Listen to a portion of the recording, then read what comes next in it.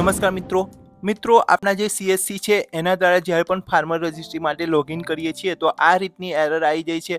જ્યારે પણ આપણે લોગિન વિથ સીએસસી પર ક્લિક કરીએ છીએ, તો કનેક્શન નોટ સિક્યોરની એરર આવે છે. તો આપણા ઘણા જે સીએસસી મિત્રો છે, ઘણા જે આપણા દુકાનદારો છે, એમની કમેન્ટ આવતી હોય છે કે આપણે કેવી રીતે સોલ્વ કરી શકીએ. તો મિત્રો, આપણે એક નવી લિંક મૂકી છે, જેના દ્વારા તમે સીએસસીમાં લોગિન થઈ ફાર્મર રજિસ્ટ્રી કરી શકો છો. તો આજના વિડીયોમાં આપણે દરેક માહિતી લેવાના છે. તો વીડિયો લાસ્ટ સુધી જોજો. ચેનલ પર નવા હોય તો ચેનલને પણ સબસ્ક્રાઈબ કરી લેજો. તો ચાલો મિત્રો, આપણે વિડીયોની શરૂઆત કરીએ.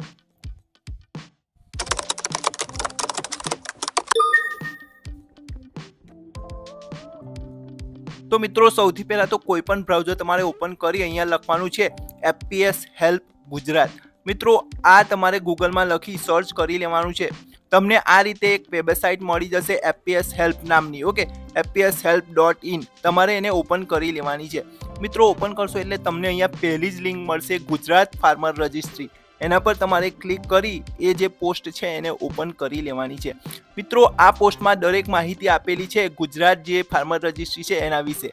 અહીંયા આપણે ઘણી બધી લિંકો પણ આપેલી છે, જે રીતે ફાર્મર રજિસ્ટ્રી જાતે કરી શકાય છે વીસીએ દ્વારા અથવા તો સીએસસી દ્વારા. તો એની લિંકો અહીંયા આપેલી છે. તો તમારે જે સીએસસીની લિંક છે, એના પર ક્લિક કરવાનું છે. તો અહીંયા તમે આ જે પ્રાઇવેટ લિંક છે, તમે જાતે રજિસ્ટર માટેની છે, એની નીચે તમને સીએસસીની લિંક મળી જશે. તો એના પર ક્લિક કરશો તો આ રીતે તમારી સીએસસી માટેની લિંક ઓપન થઈ જશે. મિત્રો, આગળ તમે જોતા હતા કે સીએસસી માટે લિંક ઓપન થતી નથી. પરંતુ જ્યારે તમે આ લિંક પર ક્લિક કરશો તરત જ તમારી આ લિંક અહીંયાથી ઓપન થઈ જશે.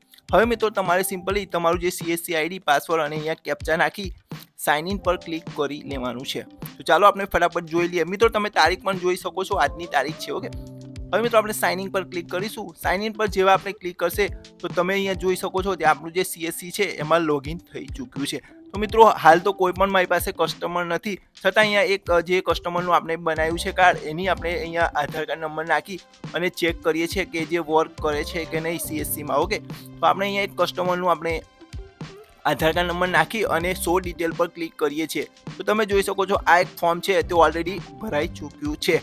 તો મિત્રો, જો તમારું કામ થઈ ચૂક્યું હોય, આ સાઇટથી તમે લોગિન થઈ ચૂક્યા હોય, તો એક કમેન્ટ કરી દેજો કે હા, મારું કામ થઈ ગયું છે. અથવા તો તમે વિડીયોને લાઇક કરી અને ચેનલને પણ સબસ્ક્રાઇબ કરી શકો છો. તો બસ મિત્રો, મળીશું નવા વિડીયોમાં નવી ઇન્ફોર્મેશન સાથે. ત્યાં સુધી રજા આપજો. જય હિન્દ, જય ભારત.